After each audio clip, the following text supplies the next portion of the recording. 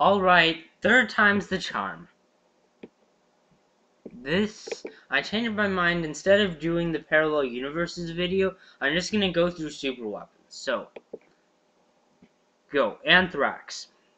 It spreads through the environment, which makes it really good, but ultimately it only hurts human settlements. So, lowest. Fusion bomb. Takes out the whole settlement, but no radioactive waste, so it could be re-inhabited. Salted hydrogen bomb. Specifically made to produce a load of radioactive waste, so uh, not only does it, it's worse at leveling the city, but still, it the bad thing is it remains that way. War, war never changes. Fallout. Zombie virus. Need I say more? Orbital bombardment. Made famous by Call of Duty Ghosts. A load of basically you shoot a telephone pole and it's and unfortunately it's more powerful than a nuke. And if you use it on the moon, it's way more powerful than a nuke.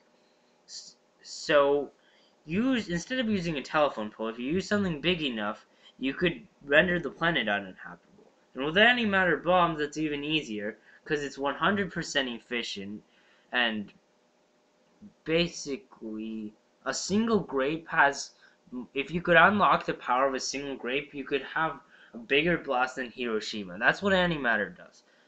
Any matter it touches is converted to energy, so big boom, 100% efficient instead of 1% efficient like a nuke. But supernova wipes out a whole system and also a lot of a lot of the systems around it. Uh, a big star explodes, bam. Black hole.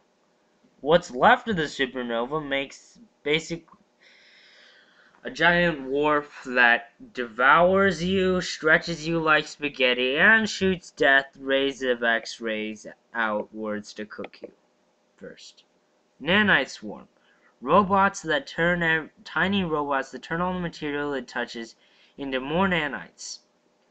Wipe out.